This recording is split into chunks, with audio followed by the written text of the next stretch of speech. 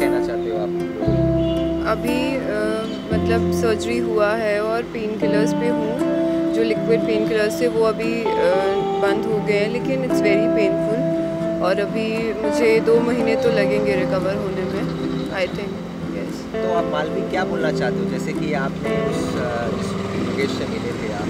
तो आप क्या बोलना चाहते हो कि ऐसे स्मॉल टाइम प्रोड्यूसर्स जो आते हैं और ये आकर नए नए लड़कियों का ज़िंदगी ख़राब करते हैं उनके बड़े बड़े ड्रीम्स दिखाकर तो आप इन्हें क्या बोलना चाहते हो? इन्हें ऐसे प्रोड्यूसर्स को आप क्या बोलना चाहते हो? और ऐसे आप बॉलीवुड को क्या बोलना चाहते हो कि वो आकर सब मतलब साथ में आकर मतलब ऐसे प्रोड्यूसर्स को बॉयकॉट करें? मतलब ऐसे किस तरह से हम बचें? नए नए लोगों को किस तरह से बचें? देखिए मतलब इसमें तो मैं नहीं कहना चाहती हूँ क्योंकि प्रोड्यूसर्स और अ, इंसान की नेचर का is a lot of difference क्योंकि किसी की नेचर कैसी है वो चाहे प्रोड्यूसर हो चाहे वो डॉक्टर हो चाहे वो इंजीनियर हो वी कैन नॉट जज the person with their profession और अ, वो कोई भी हो सकता है मतलब अगर हम प्रोड्यूसर भी हो सकता है डायरेक्टर भी हो सकता है एक छोटा सा स्पॉट बॉय भी आप पे अटैक कर सकता है. इट्स नॉट इंपॉर्टेंट कि प्रोड्यूसर ही अटैक करे.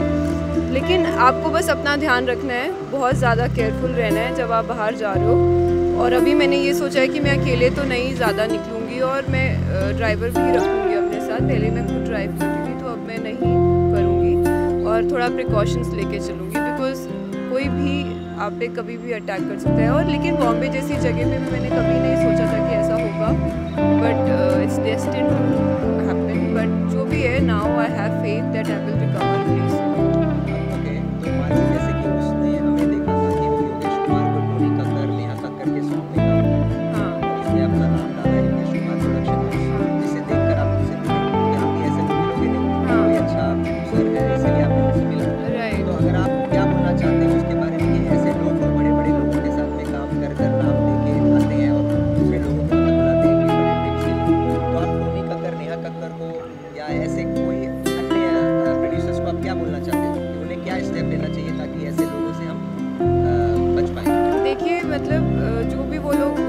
उसने प्रोडक्शंस लिखा था तो पहली चीज़ तो उसका उन लोगों को जब वो डिस्क्रिप्शन लिखते हैं ना सॉन्ग की they should write he is a EP और he is like that you know तो वो जो प्रोडक्शंस डालता है दैट इज़ वेरी वियर्ड और दूसरी चीज़ कि I should ask Tony Kakkar Neha Kakkar और all these people to tweet against this this guy because वो उनके उनके साथ काम कर चुका है. Not even one song he has done four five things with them तो उनको आगे आके इस चीज़ के बारे में बोलना चाहिए and it is really important कि जब आप एक सोसाइटी का हिस्सा हो फ़िल्म इंडस्ट्री का हिस्सा हो तो आपको इस चीज़ के लिए बोलना चाहिए, जिस इंसान ने आपके प्रोडक्शन में काम किया and he is a culprit now जैसे कंगना रनावत जी ने आपने उनको अपील किया, ठीक है, उन्होंने ट्वीट किया तो ट्वीट करने के बाद में आप और उन्हें कुछ बोलना चाहते हो?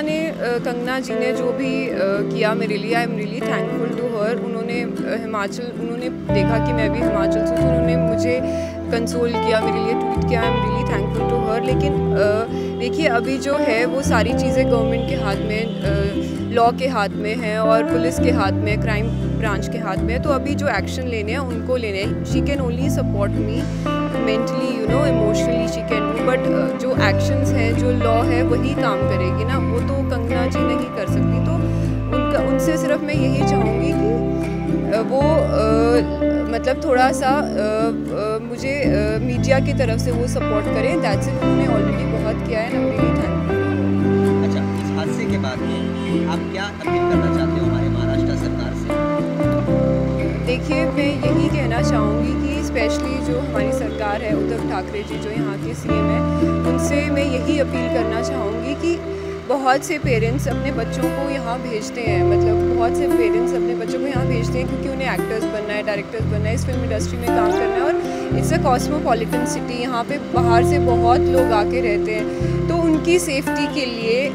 हम क्या कर सकते हैं? कुछ ऐसा उस इंसान को कड़ी से कड़ी सज़ा मिलनी चाहिए कि वो एक एग्ज़ाम्पल सेट हो कि उस कि मतलब ऐसी, ऐसा क्राइम कभी बॉम्बे में वापस ना हो, क्योंकि बॉम्बे जैसी जगह में मैंने पहली बार ऐसा सुना है कि इस टाइप का कुछ क्राइम हुआ है।